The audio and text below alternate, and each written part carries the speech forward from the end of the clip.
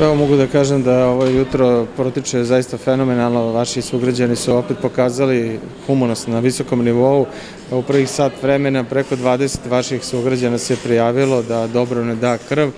Veliko hvala svima njima jer svaka jedinica krvi nam zaista puno znači.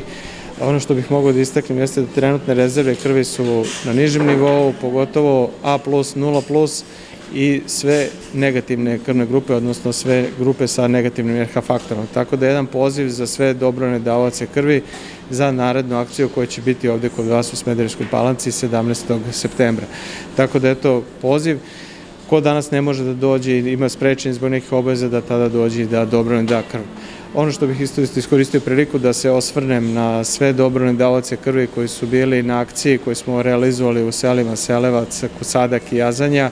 Jedno veliko hvala svima njima koji su došli i tog dana dali krv i jedna najava, eto, da 29. novembra ove godine ćemo opet realizovati tamo akciju dobrone davanja krvi. Ono što bih isto rekao za sve one ljudi koji su preležali koronu 19 i koji su imaju dva negativna PCR testa i ako je prošlo više od 21 dan, mogu da se prijeve ako žele da postanu dobrovni davoci plazme na našem odeljenju plazma Fereze na telefon 19 819, tako da ako neko želi može da se prijevi da bude, da kažemo, humani u tom delu, da nekome pomogne ko se leče od korone.